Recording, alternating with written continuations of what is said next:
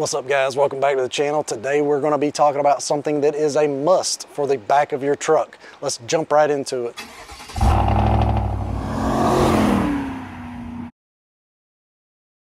Pretty much all truck brands are starting to stamp their brand in the tailgate, but they don't put any lettering in there. So this lettering really just makes the tailgate pop.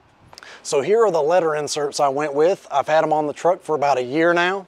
I went with BD Trims. So I ordered these on Amazon for about 30 bucks. If you go on their website, they're roughly around $40. And if you want to get the domed, which is an upgrade where the letters pop out a little bit, that's an extra $20. There's tons of these letters out there. Why did I go with this brand? Well, I just did a little bit of research and they were rated pretty high. And so far, I love them. So they've got tons of different color options on their website.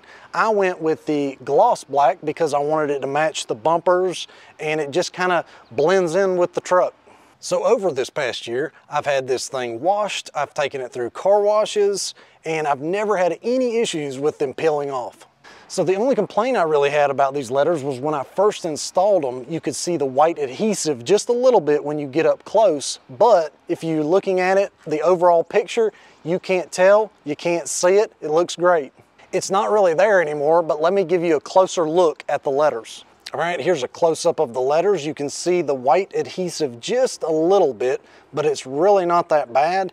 And honestly, when I first put it on, it was a lot worse, but now it's kind of just gone away. I like these letters because they're really thick and they're easy to put on. Some brands out there are flimsy and they're difficult to put on because they're really thin. And with these being a little bit thicker, you don't have to really worry about them tearing or breaking. As far as installation, this is something you can easily do. You just kind of want to line up a corner and barely stick it on.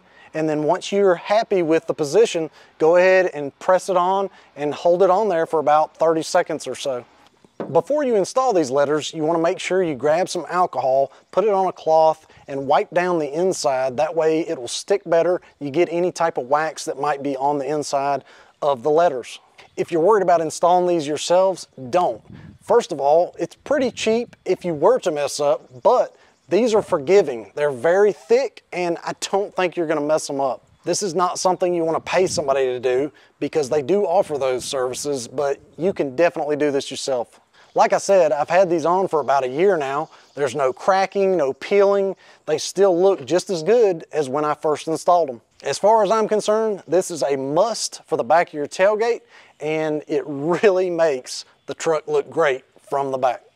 Here's a closer view of the letters. And here's a view of the letters from a little bit of a distance.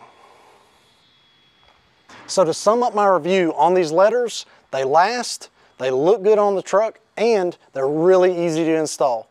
So I appreciate y'all watching this. If you enjoyed it, make sure you hit that thumbs up. And if you haven't subscribed already, go ahead and do so. Until next time, see y'all.